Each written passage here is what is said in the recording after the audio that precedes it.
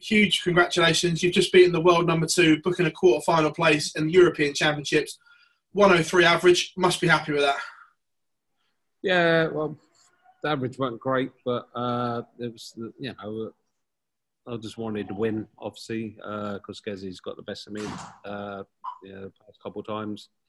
Uh, you know, I wasn't feeling right past couple of times against him. Today I felt a little bit better, but I'm not relaxing with these darts. When I relax with them, they're going to be they're going to be awesome. So uh, watch his space. No, you said it yesterday that you went moved from them because they kept going in to the board at a funny angle. Are you thinking about that? Are you thinking, are they're going to start going in at a funny angle? No, no, they're going straight. It's just I'm throwing too slow on stage, and I, I need to I need to throw just that, you know, one second a little bit quicker. Uh, I'm taking my time too much, but that's only because, you know, I'm just like nervous with them, and obviously playing Gezi, you, you can't make a mistake, otherwise you get punished. You know, but uh, hopefully I'll have someone easier in the next round. But that's not going to happen, is it? when, when, when, you were 9 3 up, what's going through your mind? Because it was quite a close game, but you were taking out all the crucial moments. Yeah. Uh, 9 3 up, I was thinking, don't throw it away because I've done it in the past. Uh, and, and he's quite capable coming back, being off legs and legs. You know, he, he weren't playing great. Uh, but then, you know, he took that one four eight out and then he started playing well and he took the one two seven out. And, and then he took 80 out or something like that, and then all of a sudden he's you know he's on. And I'm doing nothing wrong. I'm, I'm setting up shots and everything, not getting getting a getting a shot at it. So uh, fair play to him. Uh, but it, it, it, wasn't a cracking game, but it, it was okay. Was this the first step in catching him to get your world number two spot back as well? Because I know that you were a bit I'm too old. about losing I'm it. Too, I'm too old about worrying about rankings. You know, I'm, as long as I'm still up there, I'm 300 grand in uh, in front of number four. So they got a lot of work to do, haven't they? a little bit, yeah. Obviously, going to the business end of the tournament now. If you could win this, would this put right the Premier League disappointment or not? Yeah, yeah, I suppose so. Uh, I said to Farnlaw on the way uh, on the, on the way here, I said, you know, this this will make up for you know uh, some of the tournaments that you know I, I, haven't picked up, like in the match play and obviously uh, and uh, obviously as the Premier League. So uh, you know, I'm still in, still batting. So you know, see how it goes. Peter, congratulations, mate. Thank you very much as always. Cheers, well, thank you, mate. Hi, Peter. Um, congratulations on um, on the result. Um, some game. Um, did you need that? Did you need to make that statement? I didn't need it. No. of course, I need it. Man, stupid question. It's really weird. I'm looking at you. You're, you're just blending in with your sofa. You just look like a head.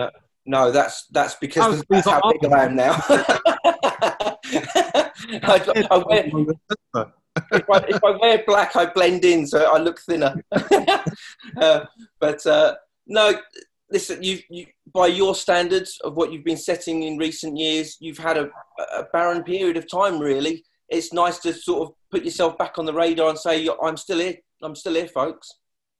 Yeah, I know. I know. Uh, obviously, with these diamond darts, that the uh, more consistent, high, big averages and stuff like that, and so that's to come. So that you know they're just steady at the moment, and I'm looking forward to it. And you know, lots of big averages with them. Last night you said that you took a break because um, you needed to sort of press the reset button.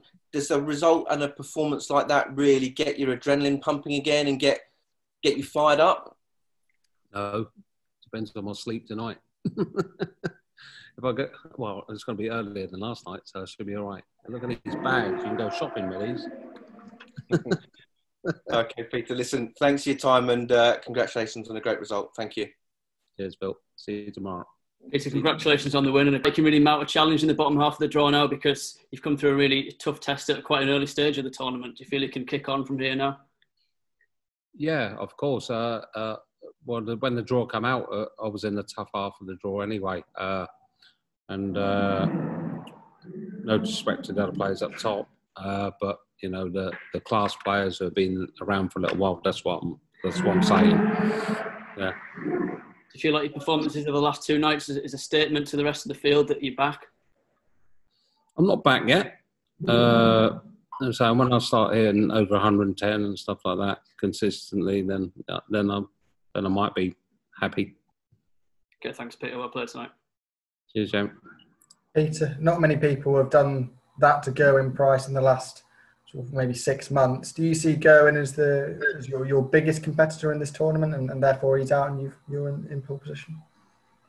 Yeah, I did. I beat him eight two in the final of the summer series.